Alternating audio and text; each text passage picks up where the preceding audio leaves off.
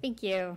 Um, so the title of my presentation is Global Ebook Domination Through Better Metadata, because that sounds much more interesting than Taxorama, and I'm going to spend a lot of time talking about international taxes, and we'll try to make it as interesting as possible.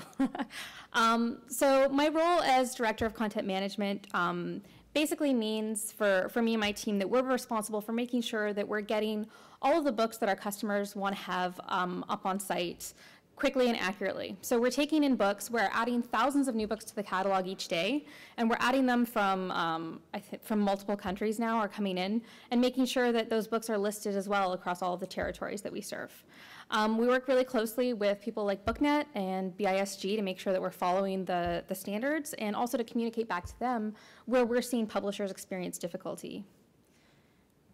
Um, Right now at Kobo, we have, uh, this probably is out of date. I feel like every time I update it, I'm adding another million on this. Um, so we're 12 million global users, probably 13 by now. Um, Award-winning devices, our, our, devices recently won um, the parent-tested, parent-approved award for our Kobo Arc. We're selling ebooks into 190 countries. Um, we have 3.2 million books in 68 different languages, and we have 14 country-specific stores.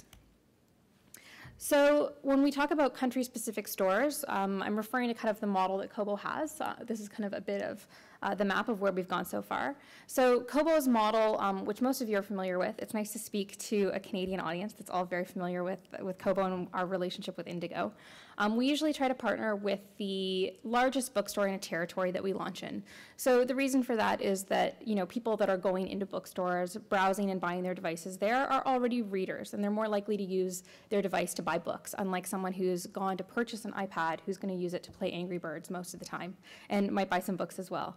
Um, we like to partner with the bookstores. We do sell our devices in places like Future Shop as well, but the customers that we get from a bookstore are a much better customer and they purchase more titles. So this is kind of, these are the countries that we're in now. I'm gonna spend some time at the end of the presentation going kind of country by country to explain who we're partnered with and where your books will be if you give us rights to sell in that country. So one of the biggest things that uh, our team works with when we get questions from publishers um, every time we launch, we usually end up with a series of emails like this. So, you know, why can't I see my book on your German partner site? Um, we get a lot of questions as well when we send out our sales reports of, well, why did you pay me this amount here? I don't remember sending you that price. Um, or why didn't you use this other price I gave you? We get a lot of questions about providing local pricing. Um, every time we launch in a new territory, uh, there's often a lot of questions of what currency do they even use somewhere like South Africa? Uh, what is the exchange rate like? What is the average ebook price like? Uh, do, are taxes included and excluded? So these are the kind of questions we get. Um, when we do kind of research why, we tend to come back to the ONIX. and almost all the time the cause of why books aren't up, why they're up at the wrong price, is usually due to ambiguous metadata. So it's usually due to publishers not being explicit with certain key fields uh, to do with their international distribution. So one of the things I really want to focus on today is to be explicit and understand what you're sending. Um, I think that this is a really important issue to discuss, the global distribution, just because it's something that we see publishers of all sizes dealing with today. Some of the errors that I'm going to talk about in my presentation are things that we've seen anywhere from self-publishers to do to the largest, you know, multinational uh, companies. It's something that everyone's kind of struggling with, so we did want to take some time to go over it. So I'm going to discuss a few general issues that we see with metadata related to global sales. I'm going to go country by country and talk about uh, details specific to those currencies and to our partners in those territories. And then at the end, I'll leave some time for questions. So one of the things that we talk about um, a lot when we're talk when we're launching a new territory is talking to publishers about their pricing strategy. Uh, I'm not going to go into a lot of detail today on what the actual value of those prices should be. I think that's a whole other presentation and um, something that's debated a lot. But what I want to talk about is how to make sure that your pricing strategy is being respected and that it is clear in all of the countries that you're selling in. Um, so one of the first steps is really just to have a pricing strategy. We do have a lot of publishers that are just sending out a local price and expecting it to be converted into all the local currencies, which is something we can do, but also something to be aware that you are doing that deliberately. There are a lot of advantages to providing a local price. Um, there's a lot of reasons that publishers haven't been doing that up to this point. Uh, there's often long lead times. Currencies haven't been as stable. Um, you don't know how long your book's going to be on the shelf. So, and it's printed on the label. Um, we've had a lot of publishers saying that they don't want, they're still providing different prices in US dollars because they want to use it as a hedge against currency fluctuations. But the Canadian and US dollar have been at par for over six years now, and you know, with fluctuations that are quite minor. Um, with daily metadata updates, um, we have 48-hour price, price processing SLAs, and there are no prices printed on ebooks. So there is a lot of flexibility to experiment here. Um, you might not want to add a separate currency on all of your books, but on a particular type of books. Uh, you might notice that a lot of your mysteries are selling really well in uh, the Netherlands, for example, and it's really easy to add euros onto those books, test it out, see how it's working for you. You can remove it at any time. When I do this talk to the US publishers, I spend a lot of time talking about the you know, taking their pricing strategy and adding $2, and then that's their Canadian pricing strategy. Um, but one of the things that I think is more unique to the Canadian market is how publishers are dealing with parity and what that means internally and how that can be communicated. So some of the different strategies that we see is, you know, the first one that I mentioned of publishers that are just sending out one Canadian dollar price and having it being converted into other territories, such as US dollars as well. Um, you know, the currencies are very close to parity, so you might expect your 9.99 price is also going to be 9.99 in the US. But there are still those small fluctuations, and if you're not explicitly saying and send it 9.90, sell it 9.99 in US, you can end up with, um, you know, 10.07 as your US dollar price, which is definitely uh, far less psychologically uh, of compelling of a price as the 9.99. One of the other ways that we see it done is sending, you know, US dollar and Canadian prices at the same value. So, you know, sending a 9.99 Canadian, 9.99 US dollars. Um, that's definitely a really good way, not, not a good necessarily the best way of doing it, but also it's the most explicit way. You know, you want to be in control of your data and you want to understand what's being sent out. One of the mistakes that we often see though from publishers that are taking that strategy is when they're doing promotions or sales, they're not then changing both. So if they're doing a promotion in Canada, lowering the price to $7.99, that US dollar price is still $9.99. Um, and often the media that's being produced to support that promotion is available to both territories. And then there are some publishers that are still sending a cheaper US dollar price as well as the trends of what they're doing with their print book. Um, you know, taking their Canadian pricing strategy, removing a dollar or two. Um, and that's, you know, fine as well. But what we would say is to continue to experiment and test with it. Uh, one of the things we talk about a lot at Kobo is pricing optimization.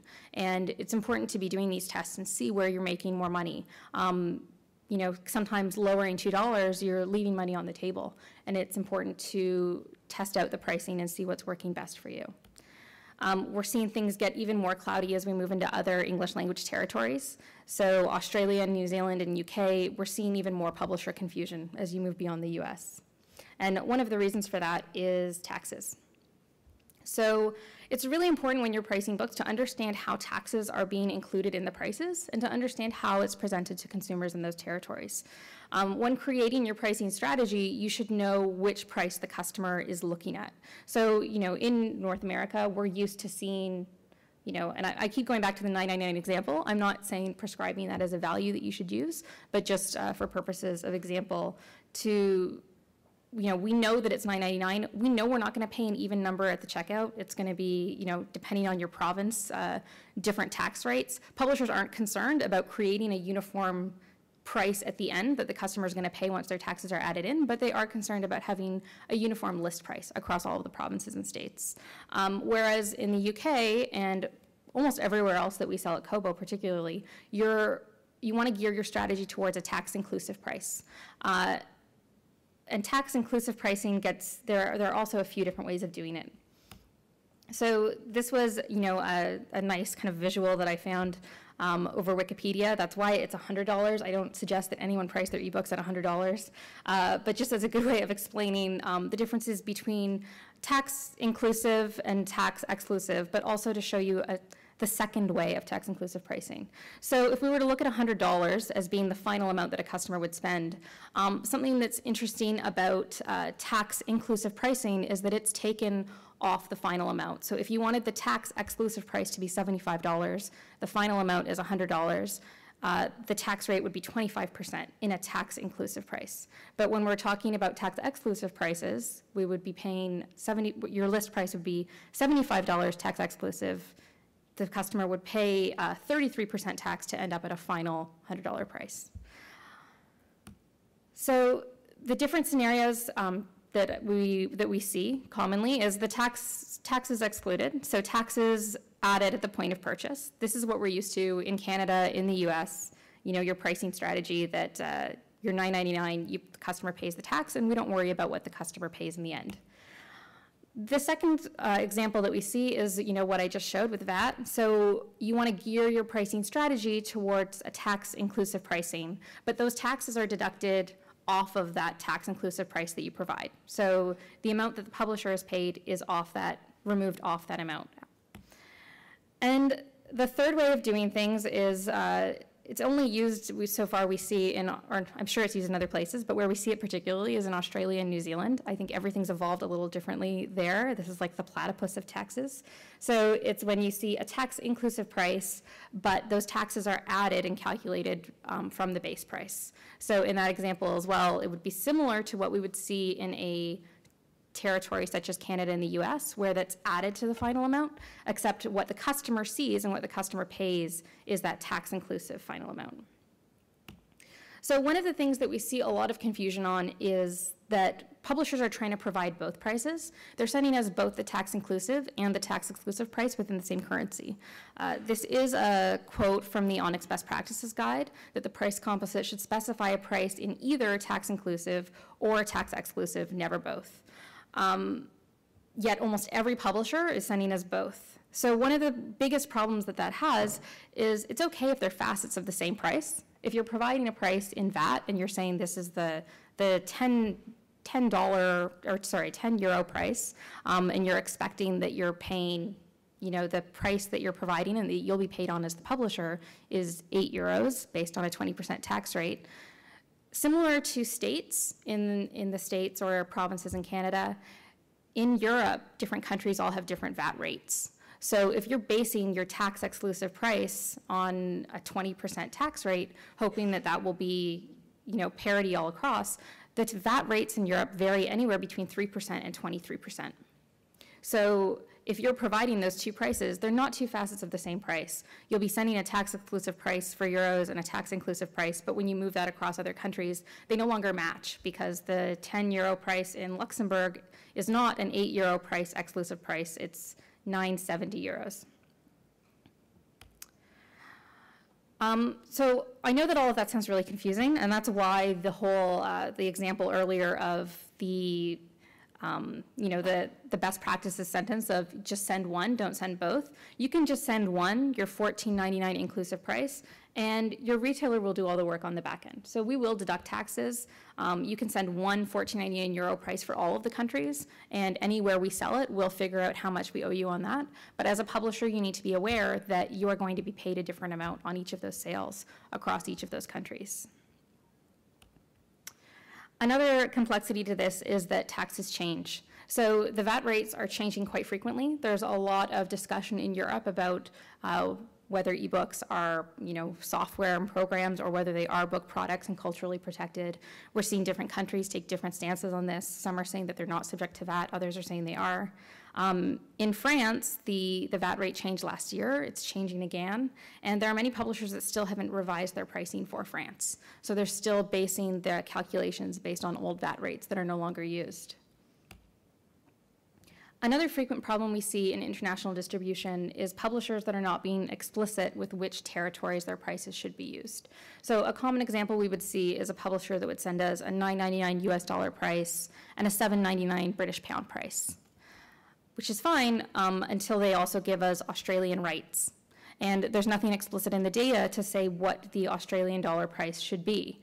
Um, you know, at Kobo, we can convert those prices, but if there's nothing to say which price we should convert to, we'll often see some confusion when we report on their sales at the end of the month. Like, why did you use my seven, my British pound price? You should have converted my US dollar price. If there's nothing in the data to say that, um, then technically the retailer can use either price because they're both considered valid in that territory. What you would want to use is qualifiers on those prices to say in which territories they can be used. So in this example, I've said use this US dollar price in US and Canada. Um, at Kobo, we would convert to the local currency where we have a local store, uh, but having that explicit uh, detail in the data makes it easier for you to know what you can expect to be paid in that territory. But we would also caution you to be careful when adding those applicable territories because we also see publishers limit their sales by not giving us enough valid prices. So if you are taking those US dollar prices, saying you can use it in this territory, this territory, and this one, sometimes we would just see a publisher say, here's my US dollar price, use it in the US, and then not mention anywhere else that their pricing can be used. So if we've been provided Canadian rights and British rights, there is no valid price because the data explicitly says that this is the price for the US market without giving any further details. Something that we frequently see is uh, through the translation of rights. So when you sign your contracts, it does take several steps to make it into this ONIX composite here. There's a lot that can go wrong within that, that we often see some mistranslations happening. So there's often many people that are responsible for different steps, and there's a lot of places where um, certain rights can get lost within the data. So sometimes the communication of rights in the metadata is a duty that might fall to a junior staff member. We've seen a lot of confusion on open market and what that means. Um, there was a major publisher who had given the assignment to someone in their office to translate all their rights into their ONIX, and the person didn't know what open market meant, so they just uh, left that out. And, and, just included all of the explicit countries. It wasn't until investigating, you know, why are these books not for sale in these territories that the publisher realized it had been like that for years. Um, so it is very important to have some understanding about what's going out there. Uh, we also know that a lot of publishers are not uh, creating their metadata in-house. They're using companies or different platforms to enter in these details into like a database that's then exported into ONIX. And the thing about you know any software is that things can go wrong. So you can't just think that because what it says on your screen is right, that what is going out in your feed is also correct. We have seen issues where a digital asset management service um, had a capacity for only a certain number of countries, and they didn't properly communicate that to their to their publisher. Um, so the publisher was entering all for their full world rights, but all that was going out in the feed was just the 30 that their system had the capacity to output in ONIX. So you should understand what you're sending and regularly review these issues. Uh, not to say you need to review each feed, but particularly your key titles. You should make sure that what is going out in the ONIX is matching what's in your system and in your database. Another thing that we frequently see at Kobo dealing with publishers worldwide is understanding of time zones and what they can expect to happen. So as publishers are moving beyond um, weekly updates of metadata. We are seeing a lot of publishers send out daily updates, some of them sending out um, even hourly updates as things change. Uh, there is this kind of quote that wasn't ONIX to this until very recently saying that by default time is local to the sender. So at Kobo, this was something that we found particularly confusing because the sender can mean a lot of different things. Is your sender a distributor? Is it your digital asset manager? Is it the publisher itself? And how are the digital asset managers going to communicate what time zone the publisher is in? Um, and it's also very hard as a recipient of this data to understand um, who we received it from when and what time zone that person's in. So this is something that's actually been changed um, so that it is something that's explicitly defined. So by default, time is sorry, by default, um, time is is local to the recipient. So it is something that if it's not clearly defined, and it should be, if you do want to do a special promotion within certain hours or within certain times, you do need to be clear on which time zone you mean. It's also something that we see frequently in Canada. Um, most recently, we had an issue where a publisher had said, we want this promotion to be available until midnight um, for your customers, and we sent out an email in Canada, and they hadn't said it was okay for it to be until midnight for their customers on the West Coast.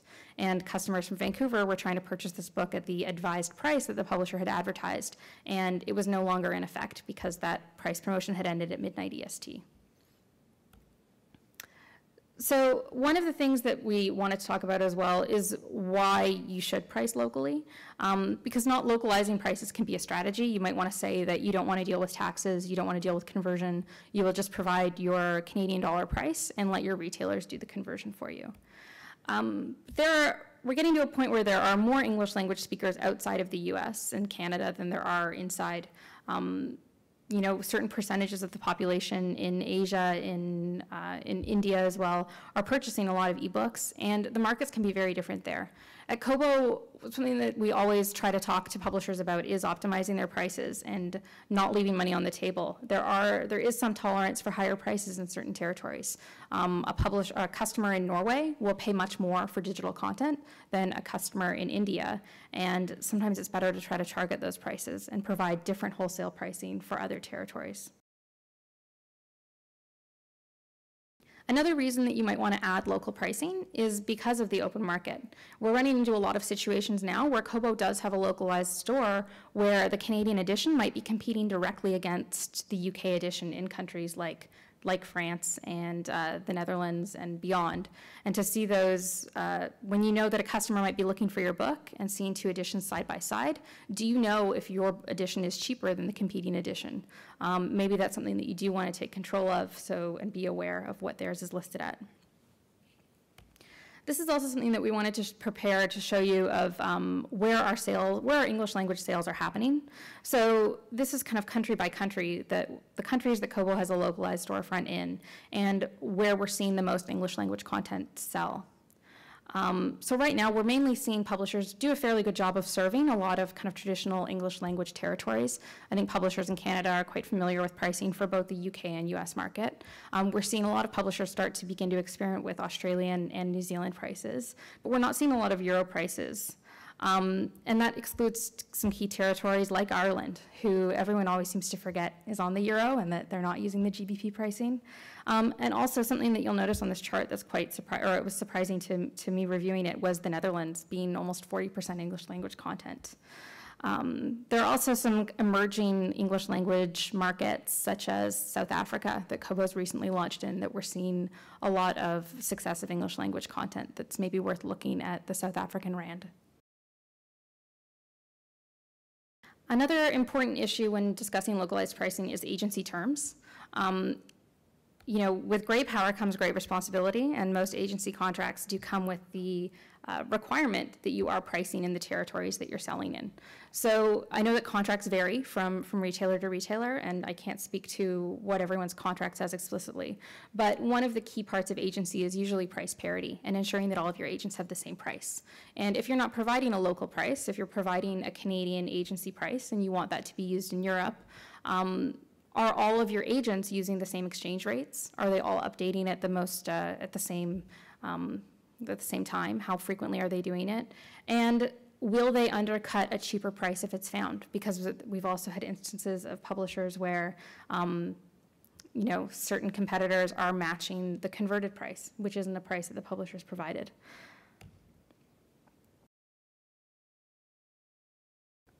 So what we wanted to get to, what I wanted to get to now is kind of some currency overviews. I think that everyone is very familiar with Canadian pricing and, and how that works here. Um, you're all very familiar with our partner here in Canada, Indigo Books and Music. Um, that, I'm going to talk about the average selling price. I know that the average selling price can be uh, a little bit different because we're talking about everything from self-published content to agency bestsellers. But my goal in showing some of the average prices is to give you a sense of both currency exchange and to also compare them to each other to see which countries are maybe have tolerance for higher price than others.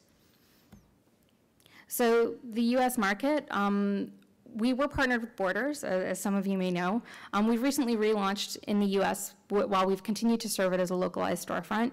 Um, much of the power, as I mentioned before, comes from having devices available to book to, to readers and people that are shopping in bookstores. So our recent partner in the US is now the ABA. So just before Christmas, we launched with independent bookstores across the US. So these bookstores can sell Kobo devices. When someone on those devices purchases books, the, the independent bookstore gets a cut of that. We've also launched a similar agreement with Family Christian. So by providing Kobo with US rights, your titles are also available on the, the sites of those bookstores as well. Um, and we're seeing the average, U, the average US selling price at about 759. Um, and with that being at parity, it's the same in Canada, in Canadian dollars, sorry. So to talk a bit about British pounds, British pounds are uh, tax and currency. The VAT rate currently in the in the UK is a 20% VAT. So in the UK, we're partnered with WH Smith, one of the largest booksellers there. We are also um, just ramping up a similar agreement to what we have done in the US with the ABA, with the Booksellers Association in the UK. So in the UK, we'll be doing a similar agreement with their independent bookstores. And we're seeing an average selling price of about uh, £3.75, which is about 5.94 Canadian. Um, so this is Australian dollars here. So in the Australian market, we are partnered with Collins and with Angus and Robertson. Again, this is a territory that's almost uh, almost only English content. And we're seeing prices here on average of about 853 Australian dollars, which are about 882 Canadian. So in the New Zealand New Zealand, uh, we're seeing New Zealand dollars. Again, this is another place where we see a lot of confusion and we see a lot of publishers sending us Australian dollars to use in this market. Um, but New Zealand is similar to kind of uh, the Canada to Australia, where no one's really providing localized prices for them. Um, in New Zealand, our partner is Whitcoulls, and we're seeing some average selling prices of about 1047, which is 878 Canadian. So we've recently launched in South Africa. Um, I really like their currency with all the animals. I thought that was it was really interesting to look at some of these. Um, we've launched with Pick n Pay, which is similar to like a Walmart in South Africa. So they're selling our devices in stores. They're directing people through our through their website as well. So that's who your books are with if, if you provide Kobo with South African rights. Um, the currency that they use there is the rand, and the average price is about 58.46 rand, which unfortunately is not 58.46 dollars. Um, it's about 660 Canadian. So um, euros, again, it gets a little bit complicated because we are using euros across multiple territories. We're using it at multiple VAT rates. Um, and as mentioned, our recommendation there is that you do provide one localized euro price um, for all territories, and that would mean, though, being paid different amounts across all different countries. Uh, you can put the effort into price uniquely to each of those euro territories, um, but it, you know that does depend on your pricing strategy, and we are seeing kind of some of the similar average sell prices across those. So um, as I mentioned, Ireland being one of those overlooked territories that does sell in the euro. Um, in Ireland, we're also with WH Smith. They do have stores uh, in Ireland, and along with the UK, uh, the Booksellers Association agreement that I spoke of. So in Ireland, we're seeing average prices of about 560 euros, which are about 750 Canadian dollars. And again, these are the average prices that includes both the low price and the agency new releases. These are sales of English language content in these territories, though. So in France, we have a fantastic partner with Fnac. Fnac is, um, you know, one of the largest bookstores in France. Uh, they also are a, a big um, digital store. People will go there to buy devices and tablets and computers. Uh, in in France, um, we're seeing a 6% VAT rate there. So like I said, the VAT rates across Europe tend to vary widely. We're seeing about a 655 pri- uh, euro price, which is 877 Canadian. So in Italy, we've just launched with Mondadori. Mondadori is, again, the largest bookseller in Italy. They're interestingly also a publisher. So Mondadori is one of the largest publishers within Italy. They're also a large magazine and media company. We're seeing average selling rates in Italy of 655, which is 877 Canadian, very similar to France. In Germany, we're seeing only about 20% uh, of sales as English language titles. Um, we're seeing that at uh, 661 as being the average selling price in euros, which is again exactly uh, 855 Canadian. So in the Netherlands, as mentioned, this was a little bit interesting to see the amount of uh, English language content they're consuming. We're seeing about 40% of their purchases being English language titles. Um, and we're seeing a, a slightly higher uh, average selling price of 709 euros, which is a 950 uh, Canadian dollar rate. So in Brazil, we've recently launched uh, with our partner there, who is Livraria Cultura. Um, they've been a fantastic partner. Something that we've all found really interesting at Kobo is that we're seeing a much different device mix. So everywhere else across the world, um, our Glow device is the most popular. But in uh, Brazil, they love the, the, Kobo Mini. They've even, the media's given it a nickname. They call it the Cobinho. Um, so it's been uh, kind of interesting over there. Um, we're seeing about a 33% of uh, their sales are English language content. Um, the real, we're seeing an average selling price in 1985, which is about 1009 um, Canadian dollars. Interestingly, this was also the highest average sell price that we were seeing, and when we looked at that, much of the content that they're buying there, they're buying a lot of STM content. So the Brazilian market is interested in uh, English language technical and business titles. So in Japan, um, we've recently launched in, or we launched in Japan last summer with our parent company Rakuten. So we've been selling there uh, since last summer.